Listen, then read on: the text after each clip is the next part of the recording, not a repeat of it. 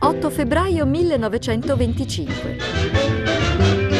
Nasce a Boston Jack Lemmon, consacrato da Hollywood nel 1955 che gli assegna un Oscar per la sua interpretazione del guardiamarina Ensign Pulver in La nave matta di Mr. Roberts, bisserà il successo nel 1973 come migliore attore in Salvate la tigre. Diretto da Billy Wilder, recita in A qualcuno piace caldo. Good night, sugar.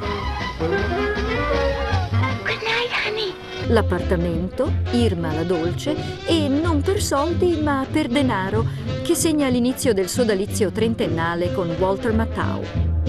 La coppia più divertente del grande schermo farà ridere e sorridere in numerose pellicole, da La strana coppia a That's Amore.